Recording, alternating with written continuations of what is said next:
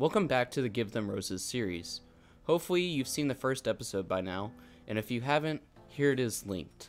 But the premise of this series is to break down players that have been immensely successful during their careers, but don't get the recognition that it should bring, either being overshadowed, underrated, or simply unnoticed or forgotten. I can assume you clicked on the thumbnail wondering who this Laker legend is and how he was forgotten. Well, today we'll be breaking down and discussing the career of Michael Cooper. Michael Cooper's story actually begins very early in his life. In 1959, at just age 3, Cooper suffered a severe knee injury that required over a hundred stitches to close. The doctors tried to tell him that he would never walk again. However, as you know by clicking on this video, that did not turn out to be the case. Cooper decided that he was going to continue his life and persevere, and managed to make his way to high school basketball. At Pasadena High School, he performed extremely well before going to the University of New Mexico and dominating with the Lobos for two years, from 1976 to 1978, being named first team All Western. Then, in 1978, seeing his excellence, the Lakers, from his hometown of Los Angeles, drafted him, beginning his story in the NBA. Michael Cooper was a huge part of the Showtime Lakers, winning five championships in the time he was there, as well as many other awards that we'll get into. But if he won five championships and has all these awards, how could he possibly be overshadowed? Well, as we just said, he was part of the Showtime Lakers. And the same story happened that is usually the case. Good defense was overshadowed by good offense. At the time, the rivalry between Larry Bird and Magic was at the forefront of the NBA. The rivalry nearly saved the NBA from bankruptcy by bringing a lot of views to the teams. Magic is even renowned as being one of the best point guards of all time, which I've also done a video on. On top of this, Kareem was one of the most elite scorers of all time, with his legendary skyhook. Kareem became the leading all time scorer in 1984, six seasons before Cooper would leave the Lakers. This is the reason they're called Showtime. Two of the best players of the 80s era on one team. And while these players' offensive capabilities were remarkable, putting butts in seats and eyes on the TV, the same cannot be said for Cooper averaging only 11 points in his best season and only 8 for his career. So then, where did all these awards come from? Defense. Cooper was a monster on defense. Cooper was able to defend multiple positions that the stat score just does not do justice. He could also help facilitate and playmake.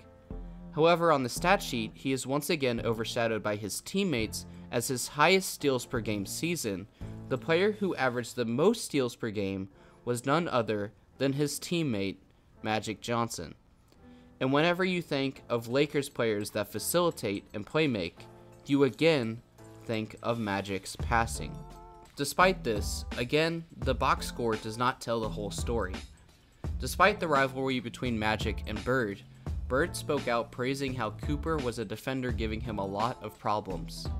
Cooper also went on to win Defensive Player of the Year in 1987, in which Jordan was annoyed that he did not win, but other players and fans backed Cooper and why he won.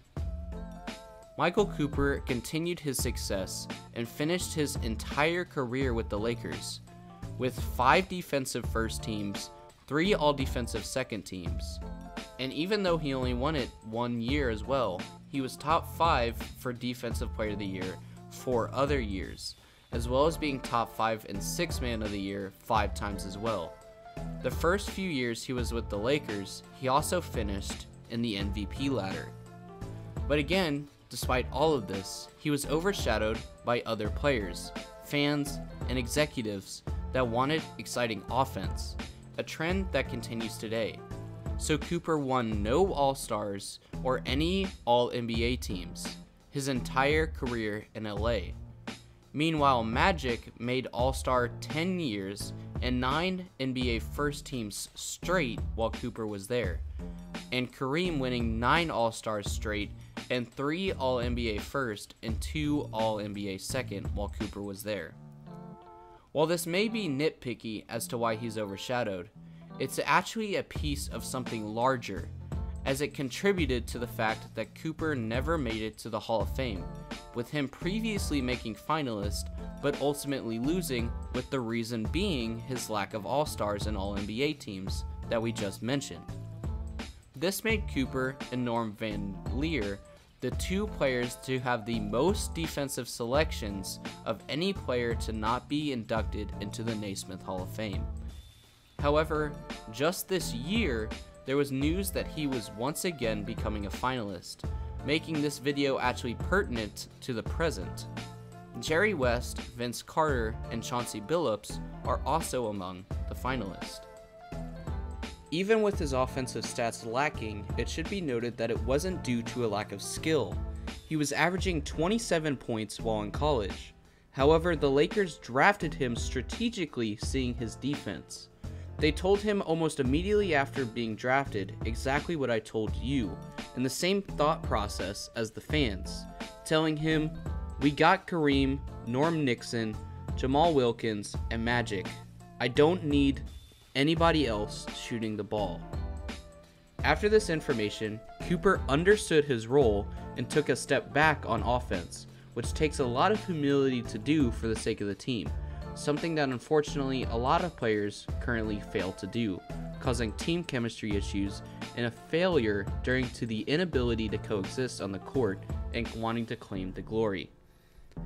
The low offensive stats were self inflicted in order to become the defensive powerhouse he was, for the sake of winning, which says a lot of, about Cooper's character and his ability of being a team player.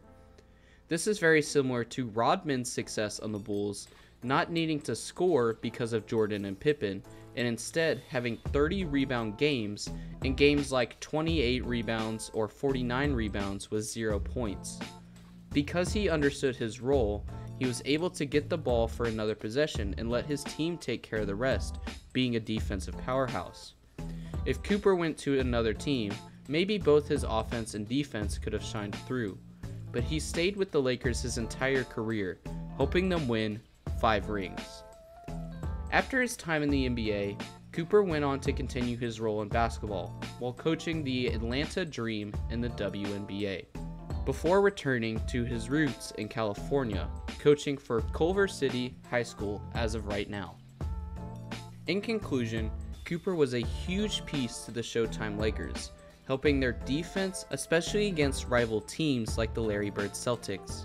But he is often forgotten or not mentioned for several reasons, including his focus on defense over scoring from the advice and staff, the other star power and Hall of Fame calibers of his teammates, and the media and fan focus on the offense and rivalries, which resulted in no All Stars or Hall of Fame inductions currently. However, he was one of the best defensive players of the time, helping the Lakers win five rings along with Magic and Kareem. And for that reason, Michael Cooper, we give you your roses. I hope y'all enjoyed this video. I know it's a bit of a shorter one, but I wanted to get another Give Them Roses out. And I hope y'all enjoy the series. And with that being said, like, subscribe, share the video around, all that good stuff. And I will see y'all in the next one. Peace out. This, this is, is not okay. This needs to stop now.